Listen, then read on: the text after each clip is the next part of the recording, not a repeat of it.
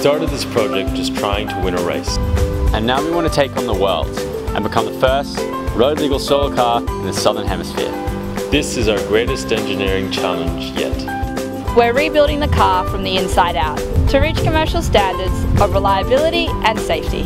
21st century driver controls Crash safety and high-speed charging. are just some of the new changes in our plan.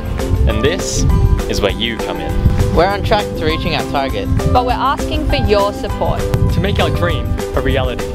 So help us take this step forward. Help us make history.